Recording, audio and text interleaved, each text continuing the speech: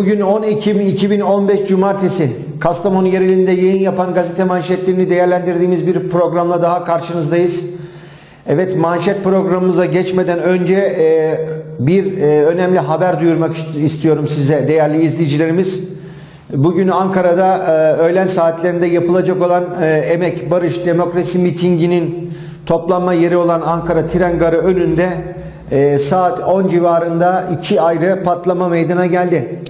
Patlama sırasında e, çok sayıda ölü ve yaralının olduğu haber ajanslarından e, akmaya başladı. E, burada değerli izleyicilerimiz Doğan Haber Ajansı'na göre e, ölü sayısının şu anda 20 olduğu ve çok sayıda yaralı olduğu e, bilgisi geldi. Bunu e, manşet programımızdan önce sizlere duyurmak istedik. E, bu önemli e, gündü bugün değerli izleyenler. Birçok sivil toplum kuruluşu destek vermişti. Emek, Barış ve Demokrasi yürüyüşüne e, toplanma yeri olarak Ankara Tren Garı seçilmişti. Toplama saati 10 olarak belirtildi ve öğlen saatlerinde Sıhhiye'ye e, yürüyüş yapılacaktı. Toplanma yerinde e, iki ayrı patlama meydana geldi. Tekrar etmiş olayım size. Bu iki ayrı patlamada çok sayıda ölü ve yaralının olduğu ajanslardan bildirildi. E, Doğan Haber Ajansı ilk sayıyı verdi. 20'nin üzerinde ölünün olduğu bildirildi. Evet manşet programımıza geçiyoruz. Manşet programımıza her zaman olduğu gibi Tosya Haber 37 gazetesiyle başlıyoruz. Tosya Haber 37 gazetemiz manşetinde hafızlarımıza görkemli tören başlığını kullanmış bugün. Beşi erkek, beşi bayan toplam 10 öğrencinin hafızlık merasimlerine katılan binlerce Tosyalı hafızlarımızın mutluluklarına ortak oldular şeklinde hafızlık törenine ait bir haberi bugün manşetten okuyucularına duyurmuş. Evet, e, Türkiye Büyük Millet Meclisi eski başkanı Cemil Çiçek Tosya'ya geliyor. Sürmanşette gazetemizin bir başka haberi 1 Kasım tarihinde yapılacak olan 26. dönem milletvekili genel seçimleri kapsamında partiler hemen her gün yaptıkları çeşitli konuşmalar ve mitingler için şehir şehir gezmeye devam ediyor. Bu kapsamda AK Parti Tosya İlçe Başkanlığından yapılan açıklamada 12 Ekim Pazartesi günü saat 10'da Türkiye Büyük Millet Meclisi eski başkanı Cemil Çiçek'in Tosya'ya bir dizi ziyarette bulunacağı haber yapılmış sürmanşetten gazetede.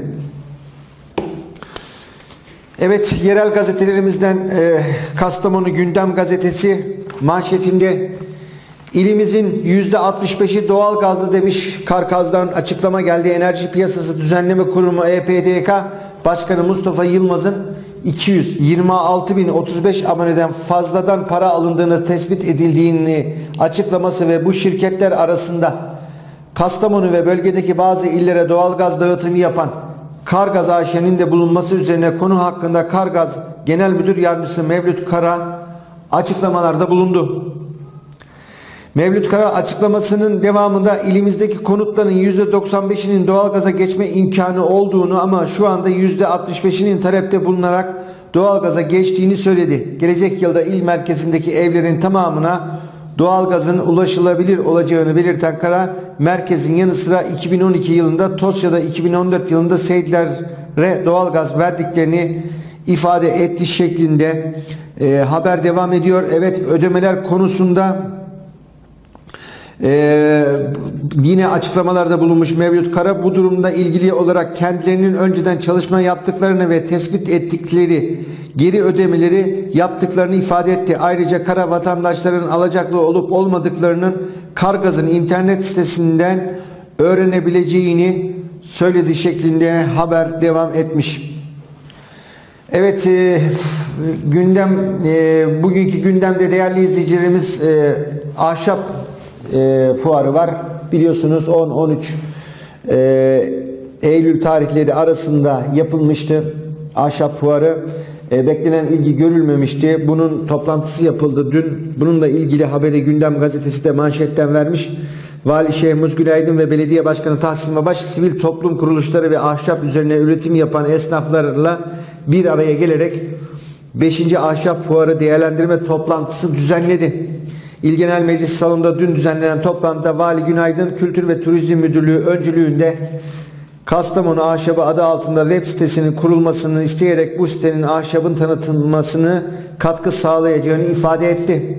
Toplantıya katılanların sayısının az olduğunu söyleyen Günaydın, esnaf ziyaretlerine başlayacağız. Hepimizin şikayetlerini daha iyi anlayabilmek için tek tek ziyaret edeceğiz ifadelerini kullandı. Evet, e, yapılan 5. Ahşap Fuarı'nda reklam sorunu vardı. E, hiç reklamı yoktu değerli izleyicilerimiz yapılan fuarın. İnşallah yeni yapılacak fuarda bunlar göz önüne bulundurur. Hatta dedikodular vardı. E, fuar için e, özel idare, idareye 500 bin lira para aktarıldığını, e, bu 500 bin liranın e, fuar için harcanmadığı konusunda halk arasında da dedikodular vardı. İnşallah açıktan bir e, e, fuar çalışması düzenlenir e, halkın gözü önünde ve bu dedikodulara bir kez daha yer verilmez. Tabii ki ahşap ilimiz için çok önemli e, bir e, ürün. Biz de ahşap fuarının devam etmesi konusunda e, gönülden destek veriyoruz. Fuarı düzenleyen kurumlara. Evet, e, ceviz ağacından düşen yaşlı adam öldü biliyorsunuz. Ceviz toplama mevsiminde bu, bu türden haberler çokça ilimizde de yaşanıyor. Evet bir diğer gazetemiz Kastamonu Doğru Söz gazetesi manşetini limana ayırmış. Limana 3 teklif demiş değerli izleyicilerimiz. Dün son e, özelleştirme kapsamına alınan İlemoğlu Limanı'nda teklif verme süresi dün e, sona erdi. E, bununla ilgili Doğru Söz gazetesi limana 3 teklif demiş. İnebolu Limanı için özelleştirme ihalesi dün Ankara'da yapıldı. Toplam 6 şartnamenin alındığı ihaleye 3 teklif 3 firma teklif verdi. Hopa Termik Santrali ile birlikte 15 milyon TL geçici teminatla ihaleye çıkarılan İnebolu Limanı için teklif verme süresi dün saat 17'de sona erdi. 3 teklif verilmiş. Teklif değerlendirmeleri Özelleştirme Dairesi Başkanlığınca yapılacak ve açık artırmayla e, limanımız özelleşecek. Evet e, haçta ölen e, hacı adaylarımız için dün e, gıyabi cezan, cenaze namazı vardı Nasrullah Meydanı'nda. Bununla ilgili bir haber yapılmış gazetede Hacı Enver Karakülah için gıyabi cenaze namazı kılındı demiş. Kutsal toprakları çıkan izdihamda hayatını kaybeden AGM Turizm sahibi Hacı Enver Karakülah için Nasrullah Camii'nde cuma namazı sonrası gıyabi cenaze namazı kılındı şeklinde verilmiş haber. Evet bir diğer gazetemiz Kastamonu gazetesi sürmanşetini e, spora ayırmış ve KSK'ya tam destek için Gazi'ye demiş. Evet biz de gazetemizin bu başlığına katılıyoruz. Zorlu periyodun son maçı yarın. Evet üçlü bir periyot vardı. Zorlu takımlar vardı değerli izleyicilerimiz. Biz e, KSK olarak Batman Spor'u 2-1 ile geçtik.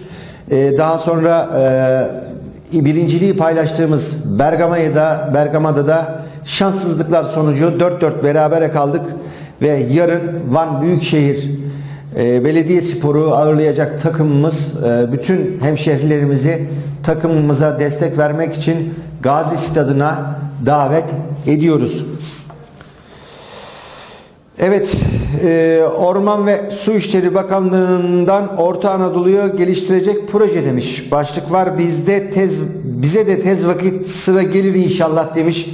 Gazetemiz başlık atmış Orta Anadolu'ya 35 milyar liralık bölgesel kalkınma projesi ara başında vermiş haberi. Orta Anadolu Gelişim Projesi kapsamında 3306 proje hayata geçirilecek. 35 milyara mal olacak proje 2019 yılında tamamlanacak şeklinde haber yapılmış. Evet birkaç gün önce belediye başkanımızın e, Kırık Barajı en büyük projedir şeklinde ilimiz için e, büyük bir proje açıklamıştı. Bunun yanında evet biz de o gün değerlendirme yapmıştık. Kastamonu'ya yapılan yatırımların e, hükümetin Türkiye genelinde yaptıkları yatırımlarının yanında devede kulak olduğunu söylemiştik. Bu da bizi teyit eden e, bir haber olarak bugün karşımıza çıkmış. Evet Kastamonu gazetesi manşetinde kurum görüşü alınacak pazar yolu yapılacak demiş. Biz de günaydın diyelim aylar öncesinden e, açık canlı hayvan pazarının yollarını biz haberleştirmiştik. buradaki yolların toz pas içinde olduğunu belirtmiştik. Bir an önce e, buraya el atılması şeklinde haberler yapmıştık değerli izleyicilerimiz. Kurban Bayramı'nda insanlara eziyetler içinde o pazarı gezdirdiler. Şu anda bununla ilgili kurum görüşü alınacakmış. İGM demiş İl Genel Meclisi yani canlı hayvan pazarı yolunun özel idare yol ağına dahil edilmesi yolundaki kararına geçerlilik kazandıracak kurum görüşünün alınmasına karar verdi. Kurum görüşü alındığında meclis olağanüstü toplanacak. Evet ne demek oluyor bu değerli izleyicilerimiz? Topu başka bir kurumun üzerine attı. Kurumdan haber beklenecek. İnşallah bu haber yıllar içini, yıllar kapsamaz e, bir an önce gelir ve buradaki yollarda yapılır diyoruz.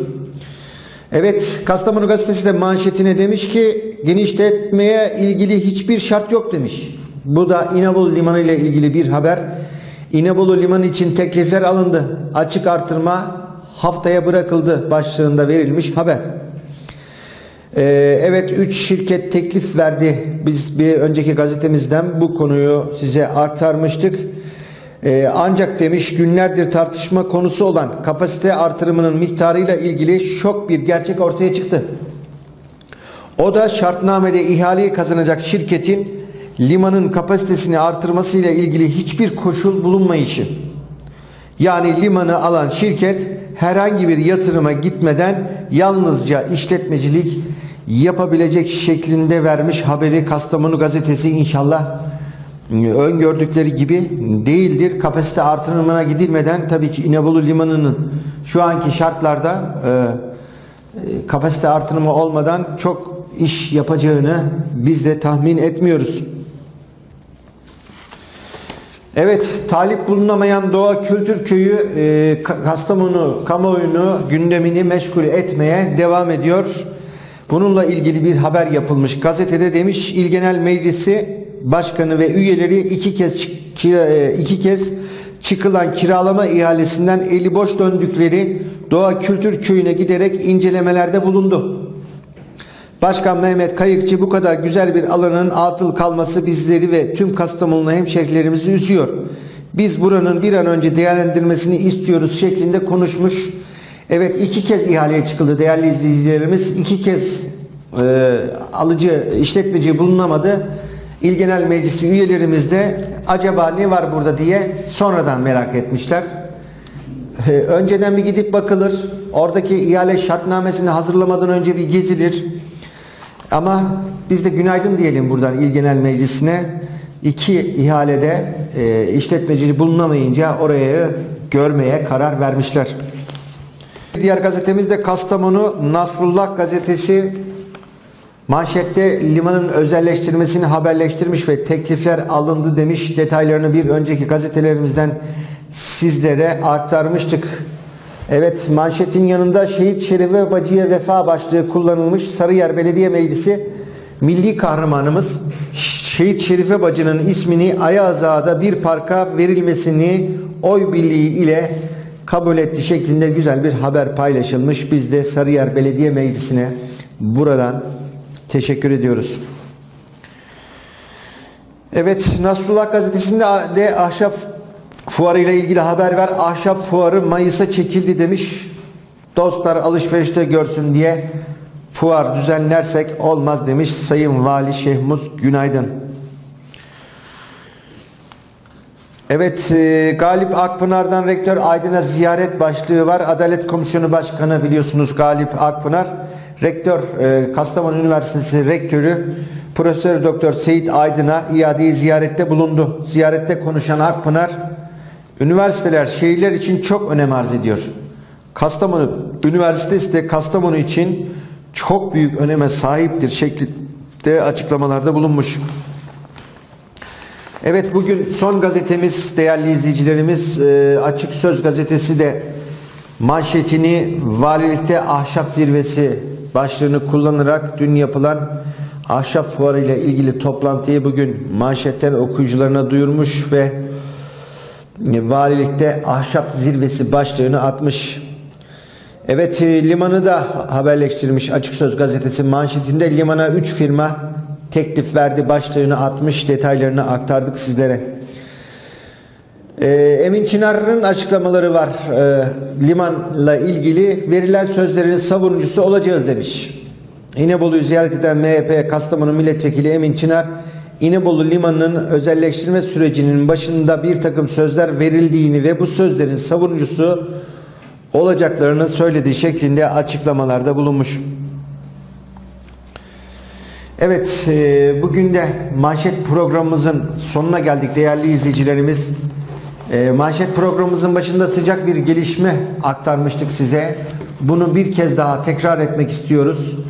E, çok sıcak bir gelişme. Bugün Ankara'da bir toplantı vardı. Sivil toplum kuruluşlarının organize ettiği e, demokrasi, barış ve demokrasi toplantısı vardı. Tren garı olarak belirlenmişti. Toplanma yeri saat 10'da toplanılacak ve Sıhhiye e, Sıhhiye Meydanı'na doğru bir yürüyüş gerçekleştirilecekti. Saat 10'da toplanma esnasında iki ayrı patlama meydana geldi. Patlamalarda çok sayıda ölü ve yaralının olduğu ajanslardan e, ajanslardan duyuruldu. Doğan Haber Ajansı'na göre 20'den fazla ölünün olduğu söylendi. Şimdilik bu ilk e, verilen rakam. Diğer e, ajanslar rakam vermiyor. Bir kez daha duyuralım.